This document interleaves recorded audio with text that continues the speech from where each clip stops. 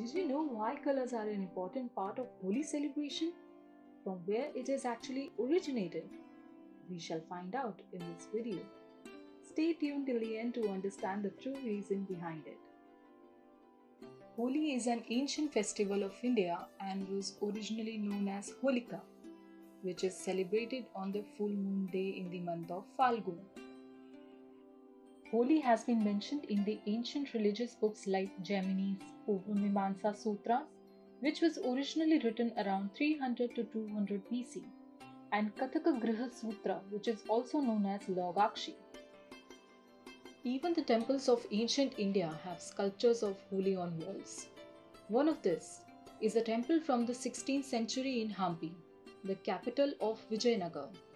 The temple has many scenes from Holi sculpted on its walls, showing princes and princesses along with their maids holding pitchkaris or water cannons to throw water on royals. Many medieval paintings, such as 16th century Ahmednagar painting, Mewar painting, Bundi painting, all have depicted Holi celebrations in one way or the other. We all know the common mythology associated with Holi is the burning of Holika into ashes who was the sister of Hiranyakashipu who wanted to take revenge from Lord Vishnu for killing his brother. Prahlad, who was the son of Hiranyakashipu, was an ardent devotee of Lord Vishnu. Hiranyakashipu hatched a plan with her sister Holika, who was immune to fire, to sit on a pyre of fire with Prahlad in order to burn him. After this, Lord Vishnu killed Hiranyakashipu.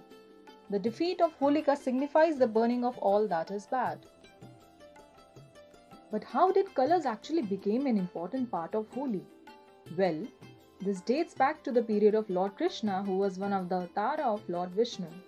The story goes that Lord Krishna fell in love with Radha, but he was embarrassed that his skin was dark blue and hers being fair.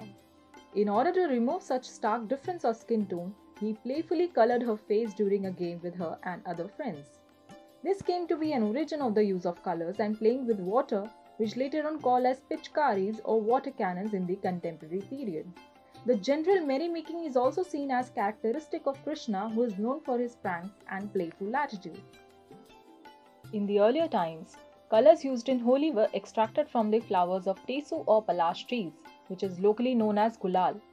Such colors did not have an adverse impact on the skin due to absence of harmful chemicals in it. But today, people have started using harsh colors made from chemicals which are quite toxic for the health of the living beings in general. And that is why many people avoid celebrating this festival. We must understand that we should enjoy this age old festival with true spirit of festivity and not to undermine its essence. Please do like, share, and subscribe on all notifications for regular updates.